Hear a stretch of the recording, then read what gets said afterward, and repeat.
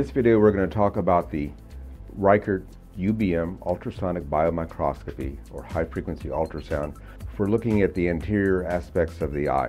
Here's the Reichert probe. There is a cover on the front of, of this probe. It's removable. It must be fully seated against this silver pin right here. Note that on the side here there's a line, there's a moving nub that moves in the same orientation, waggling back and forth as this line. This line will be on the left-hand side of the screen wherever this points to. This nub has a gold surface to it, and because it's moving in a liquid medium, it needs to be distilled water. If it's not using distilled water, then mineral deposits from normal tap water would deposit on here over time, ruining this nub. The nub can be 35 megahertz and it's also interchangeable for higher frequency of up to 50 megahertz. I'd like to talk just briefly about the older method in which uh, we examine the eye, and that's called the shell and gel technique. In that technique, the patient would be supine a open shell, which is an open cylinder made of plastic, hard plastic, is inserted into the eye subsequent to the instillation of topical anesthesia. A few drops of a viscous gel such as goniosol is placed around the inside of the shell to form a seal. And then liquid is added. And then in that case, that the operator would take the probe and position it into the uh, into the open shell, uh, literally a quarter of a, an inch uh, from the corneal surface, and it's waggling back and forth. A problem with that open shell technique, the shell and gel technique, is this, for instance, in the glaucoma patient, when you're interested in looking at angles, it requires the patient to look over to the side, up, down, left, or right. As the patient does that, the bottom uh, rim of that shell scrapes along the epithelial layer, the first layer of the cornea, and causes an abrasion. Patients hate that. And also the technician who has no feedback as to the location of this moving nub, that that in itself can tag the cornea. So technicians are not happy in doing this because of damage that can be done and it makes them nervous, and the patients themselves can leave with a very red and inflamed eye. So while UBM has been around for 15 years or so commercially, it really hasn't caught on because of the drawbacks of that shell and gel technique. Ultrasound UBM is highly effective, it's cost effective. It's a cost effective way to look at the anterior aspects of the eye for a multitude of, of, of pathologies. Uh, aside from glaucoma, you can have phacomorphic or swollen lenses. You can have plateau iris. You can look for cysts and tumors and retinal tears, as well as cells in the vitreous and vitreous hemorrhage in the anterior chamber. I want to show another device. This is an FDA approved device called the ClearScan Cover. Basically, it's a collar and a proprietary material here that is acoustically invisible. We're going to fill this full of water and we're going to push this on quickly onto the front of this probe. Again, this cover has to be in place or this, this ClearScan will not secure. In the situation where the ClearScan cover is pushed back onto this probe, where this parting line is, that can cause a leak. If you do notice a leak, I would get some type of stretchy adhesive tape like micropore and stretch it around here to cover that and that will prevent leaks. Let's just fill this up. Let me show you how easy it is to fill this. It requires, again, distilled water. I'm going to fill it up to the collar. I'm going to pour it in slowly to minimize the formation of bubbles. And here's the insertion process. That's all it takes. It takes just seconds. What's important in doing this exam is to maintain a conical bullet shape to the ClearScan itself where it's in contact with the eye. I use this for aiming, especially an eye that has narrow fissures. And if it's too bulbous, it's going to roll over the lids. There's an air bubble in here, but if you do the examination, you can see it rises to the top. It really doesn't make any difference whatsoever. What's a very important concept here in doing an examination is that the pressure within this bag has to be lower than the pressure of the eye. So the eye has pressure and this has pressure. And I want to point out three advantages to using the ClearScan. One is safety, the second is sterility, and the third is comfort. We'll just pretend that my palm is, is in the eye. Once you insert the probe into this bag, it's no longer a, a flaccid bag with zero pressure in it. It's pressurized, just like the pressurized tire of your car holds your car off the ground, this is holding this away from the eye. So this gives you a safety feature because the more you push, then the more resistance there is in coming back. And if you look at your screen, if you see it's getting very close to the top of the screen, then you know you're probably pretty close to the cornea. But because of this feedback feature, it provides an important safety factor. Also, this is sterile for single use. Uh, there's a study that's being submitted to the literature and the manuscript deals with the issue of sterility. 34 people were tested, had UBM on both eyes with four quadrants each eye. And then subsequent to the examination, the bag surface itself was swabbed, taken to the path lab. And what was found was that 80% of all the samples taken grew out microorganisms that were uh, associated with either endophthalmitis or keratitis. So this is a single-use device. In fact, if you just try to do the proverbial alcohol wipe for five or 10 seconds, it's been shown that 90% of RNA is still there. These are relatively inexpensive, and I would know that if I were a patient, I'd like to know that the bag used on me was sterile and not on the previous patient who could have any type of pathogen that potentially could be spread from patient to patient. We were talking about safety, sterility, and I want to address comfort. Comfort's a very important factor here. Um, because this is pressurized, if I'm rolling it on the eye like this, that the vector force is being spread over a large area. Uh, a study was published uh, about two or three years ago, lead author Nick Bell, and we compared the use of this ClearScan bag to the open shell on the same patient. And presentation was randomized, a ClearScan or, or the open shell. And we had a rating scale of one to five with a little smiley face on one end and then a, a frown on the other. And we asked patients to evaluate which, which they preferred the most. And just for 35 patients who were in this study, all 35 preferred the bag, so it was unanimous. And on the numeric scale, in terms of comfort, it was, uh, when using the ClearScan, it was right on the smiley part, around 1, 1.5 of the five-point scale, where it was like 2.7 to 2.9 on use of the uh, open shell. It was deemed adversive. And in clinical usage, I can definitely uh, attest to the fact that no patient finds this to be uncomfortable. On the clear ClearScan collar, there are nubs placed uh, strategically around it, and this has a purpose of keeping the probe from rolling off onto the floor accidentally, causing a very expensive mistake. What's most important is, is to realize that if the pressure within this ClearScan cover, within this bag itself, is higher than the pressure of the eye, well, several things will happen. One, you won't get complete coverage of the eye, which is important in a sulcus to sulcus examination. And also you can dent the cornea.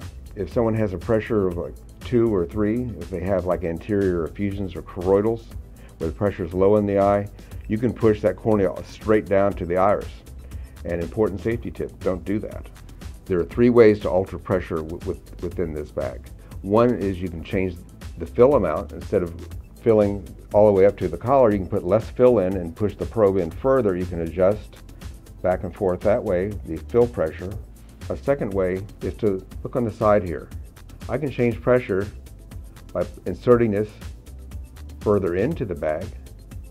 I can lower pressure by, by pulling it out. Sometimes as, as, if I'm doing a scan, I'll see what appears to be like a furry appearance on the top of the cornea. Those are wrinkles. And to get rid of the wrinkles, and it's just aesthetics, because what's under the, the, the cornea is going to be accurately measured. But just for aesthetic purposes, to eliminate that, you could you can push that probe slightly in, and then they'll disappear because you've raised the pressure somewhat, eliminating the wrinkles. A third way to change pressure is by pinching this collar. This collar is more than just a, a sealing mechanism, but it functions as a valve also. Right now there's an air bubble in here. If I want to lower pressure or get rid of an air bubble, I can just squeeze the side of this.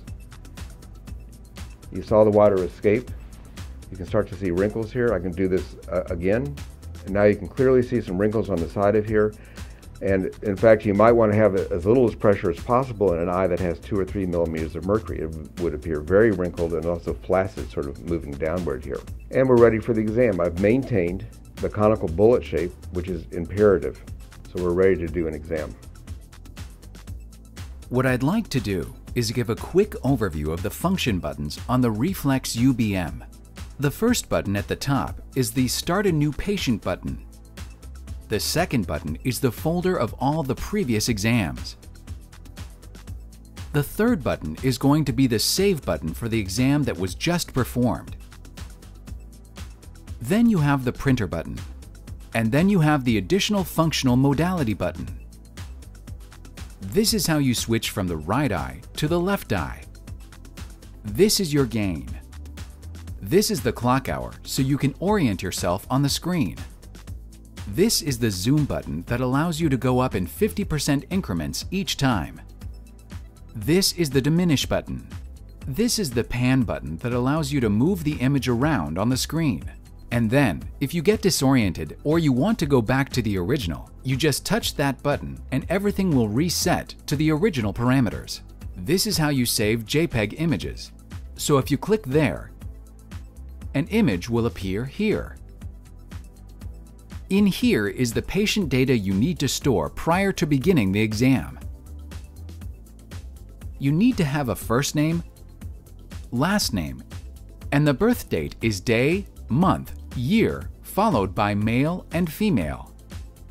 These are manipulation tools. This is how you measure the angle. This is the surface area. This is the first caliper. This is the second caliper. If you choose to write a note on the screen, you click that button and you can add in any additional data. This is Clear function. This is to export a JPEG image.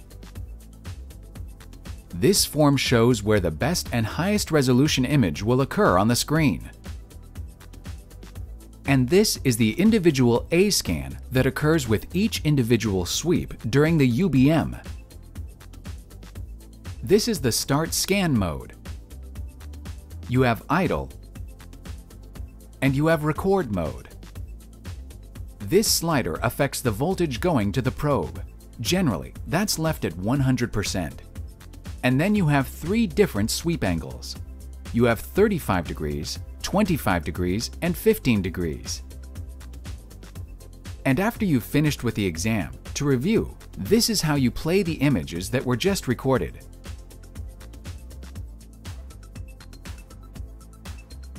You can advance them one at a time by using these buttons back and forth until you find the data that you would like to review and or save. These controls should be used in unison to adjust the brightness and contrast in order to optimize the appearance of the image. The very first step in conducting an examination is to put one or two drops of topical anesthetic into the eye. Look up for me.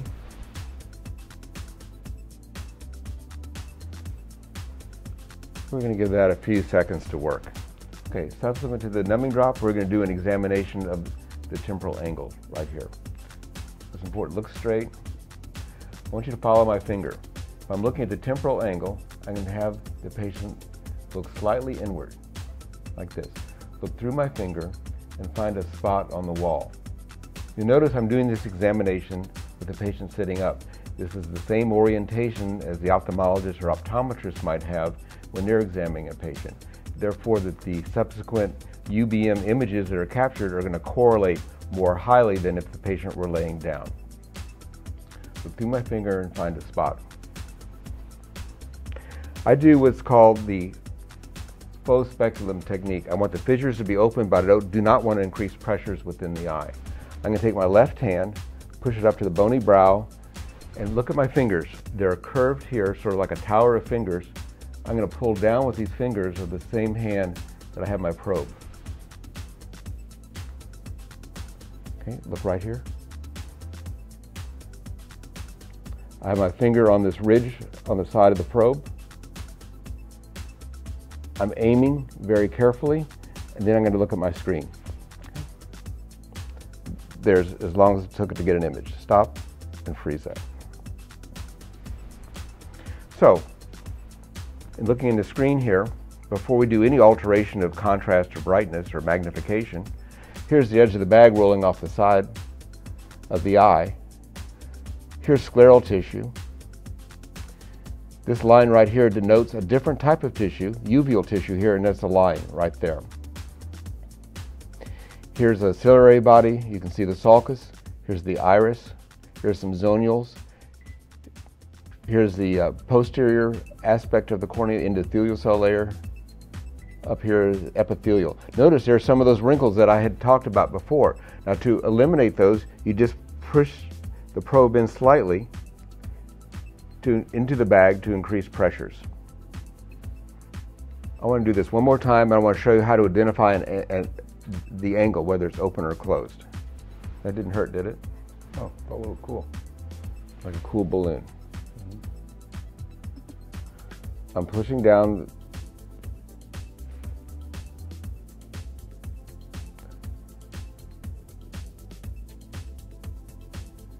I can go way on the side of the eye. That's the big advantage here for looking for pathologies on the side of the eye. Okay, let's freeze that. My criteria for an adequate scan is I have to have a landmark in each picture. That landmark is the pupil being open. I don't want to be above the pupil or below the pupil. I always want to go through the pupil, which is evident right here. I'm going to look at the inferior angle. I'm going to have the patient look slightly up, look through my finger.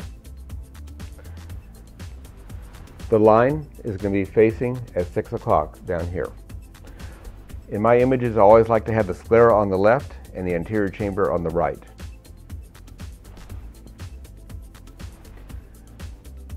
There's an optimal position on the screen that denotes where the greatest sensitivity is. And so I want to have the angle or whatever I'm interested in, be it a, a cyst or a melanoma, on pictured on that line, on that little dotted yellow line. I'm going to use that faux speculum technique, look up. I'm looking, have that conical bullet. Everything looks well positioned. Now I'll go look at my screen. Freeze that. Do that one more time. I want to get, freeze that. There, I'm right at the optimal spot. And I want to have the same orientation in my resultant picture as I'm looking at the patient. I want the left-hand side of my picture to be temporal. I want the right-hand side to be nasal for the right eye. I'm going to have the line facing temporally and going across the eye, and that will give me that same orientation. If I move to the left eye, I keep the same orientation. On the left eye, the line's going to be facing the nose, and the opposite side, where there is no line, will be facing the ear. And I have the same orientation of, uh, of nasal and temporal as if I were just looking at the patient under a slit lamp. Once you look straight ahead right here, find a spot. Again, this faux speculum technique. I'm going to use this conical bullet to get everything lined up. Everything looks good. Freeze that. You can see with these examinations, it takes just seconds to do. And let me ask my patient on a comfort scale of one being most comfortable and five being most adversive, where would you place this? I would say one. Okay.